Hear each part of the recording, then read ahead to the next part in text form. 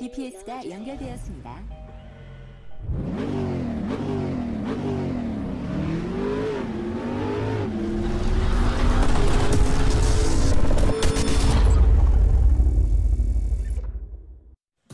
안녕하세요. 3D 운전교실 제작자입니다.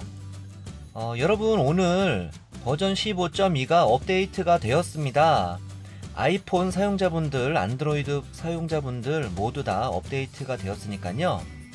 앱스토어나 플레이스토어에 가셔서 업데이트를 시켜주시면 감사하겠습니다.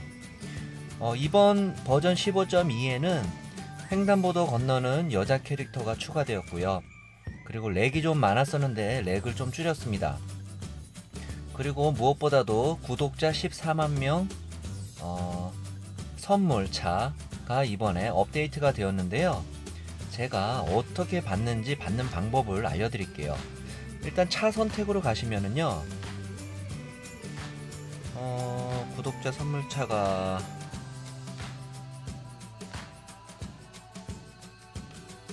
짜잔! 여러분, 이 차가 바로 이번에 업데이트된 차량인데요. 보시는 것처럼 다음 버튼이 없습니다. 다음 버튼을 누르, 눌러야지만 운전을 하실 수가 있는데 다음 버튼이 없는데요. 제가 이 차 선물을 반, 숨겨놓은 곳을 여러분들께 알려드리도록 하겠습니다. 먼저 받으러 가려면은 타고 갈 차를 선택을 해야 되는데요. 저는 바로 이 차를 타고 가겠습니다. 스포일러 올리고 열심히 달려보겠습니다. 자 그러면은 자유주행으로 들어가 보겠, 보시겠습니다 자유주행으로 들어왔는데요 자 안전벨트 매주시고요 시동 걸어주시고 사이드 기어 풀어주시고요 브레이크를 누르고 있는 상태에서 기어를 뒤로 쭈르륵 내려주시고 왼쪽 깜빡이 켜시고 출발하겠습니다. 자 출발하자마자 이제 왼쪽 깜빡이 꺼주시고요. 자 여기서 이제 저는 숨겨놓은 곳 알려드리는 거니까요. 여러분 잘 따라오십시오. 자 처음에 나와서 왼쪽으로 좌회전해 주세요. 스포일러 켜고요.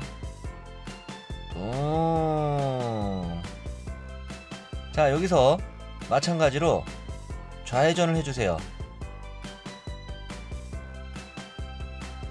좌회전 해 주시면은 이렇게 기찻길 옆으로 가게 되는데요 여러분 벌써 이쯤 되면은 감 잡으신 분들 계실 것 같은데요 옆에 기차가 가고 있습니다 뿡 기차를 따라가 볼까요? 뿡 기차를 더 기차를 이겼습니다. 아 기차 따라가다가 숨겨놓은 곳을 지나칠 뻔했습니다. 자 후진. 띠리리리리리리리. 자 후진을 해서. 어?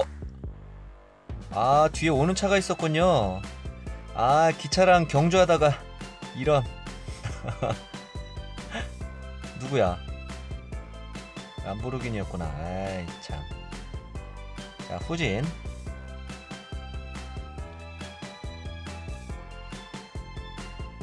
후진으로 오시다 보면은 자 오른쪽에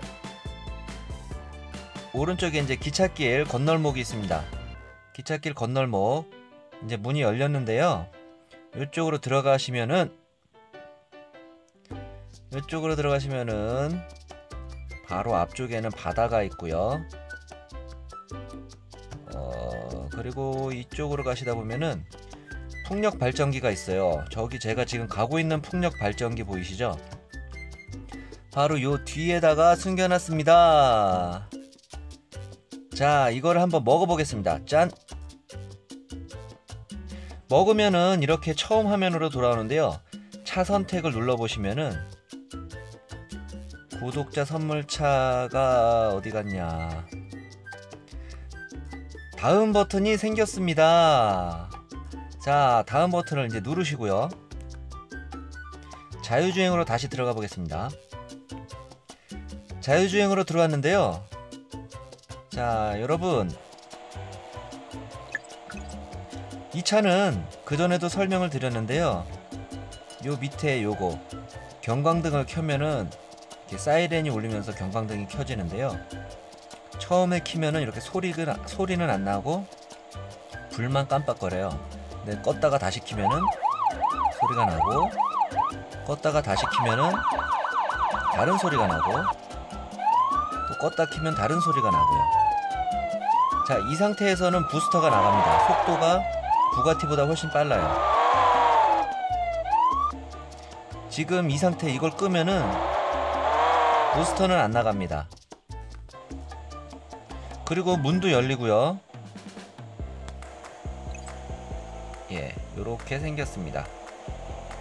여러분들께 어 여러분들도 선물을 받으셔서 기분이 좋으실 수도 있는데요. 선물을 드리는 저도 기분이 좋습니다.